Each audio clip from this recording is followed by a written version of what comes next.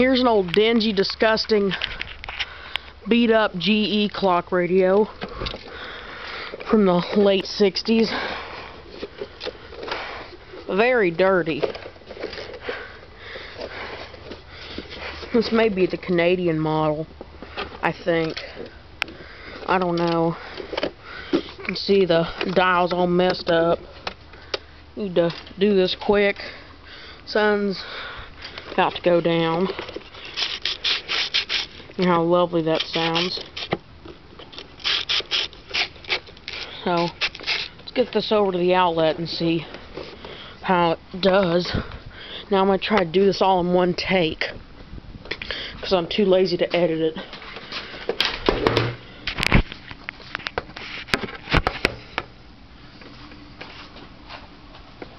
Okay. Applying power. Okay, is the clock running?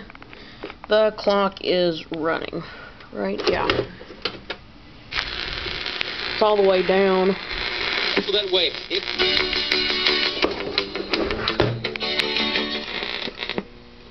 We had a power outage and my gospel station went out, so Just a little farther down the there you go.